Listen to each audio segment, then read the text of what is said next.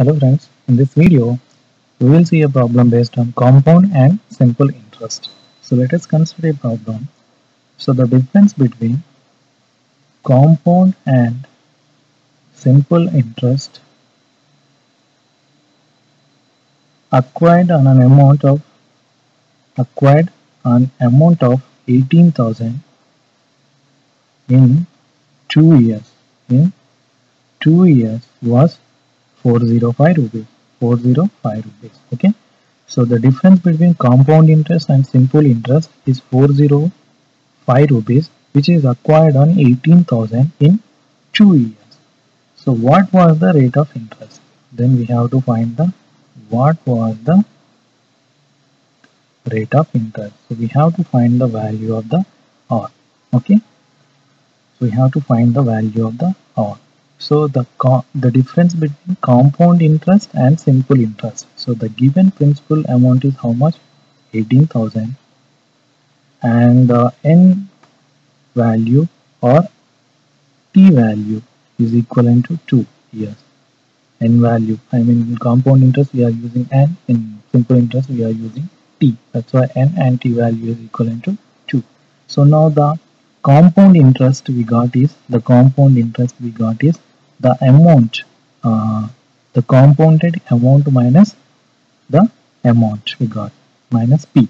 So the compounded amount we got is given by p into that is 18000 into 1 plus the rate of interest. We do not know that one. We have to find by 100 to the power of n. So that is 2 minus the principal amount so that is 18000 so this is the compound interest we got okay?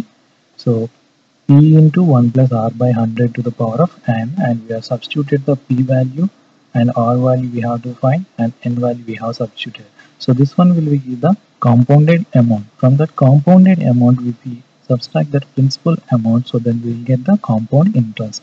Minus we have to find the simple interest. Simple interest is given by ptr by 100 p is 18000 given and t is 2 years into r we have to find that one by 100 so this one is equivalent to 405 is equivalent to 405 so we have to calculate this equation to find the value of the rate of interest okay?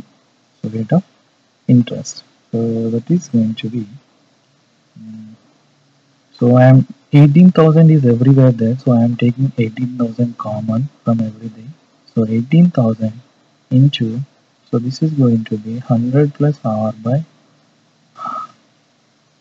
uh, 100 plus r by so this is going to be 10,000 100 plus whole square.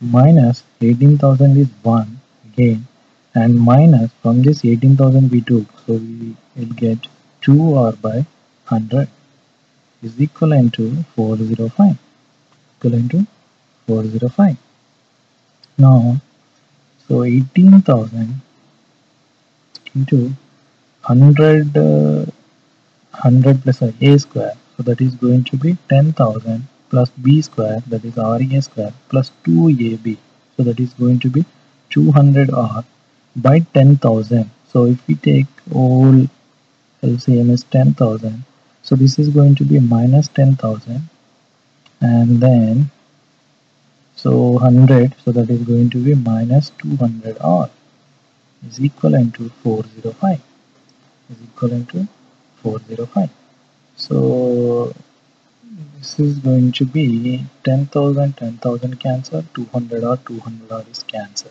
Okay? So 3 zeros 3 zeros is cancer and 2 5s are okay? 2 9s are. Okay?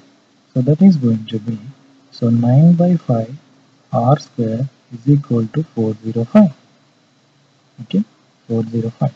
So that is going to be equal to, so r square is equal to 405 into 5 by 9.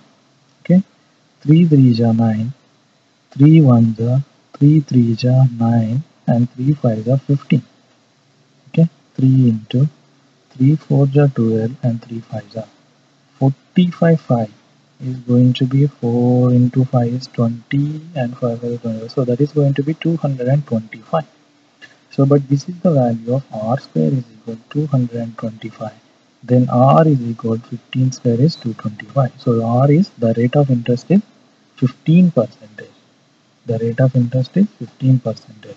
So if the difference between compound interest and simple interest is 405 on amount 18,000 in two years so then the rate of interest is the rate of interest is 15 percentage. The rate of interest is 15 percentage.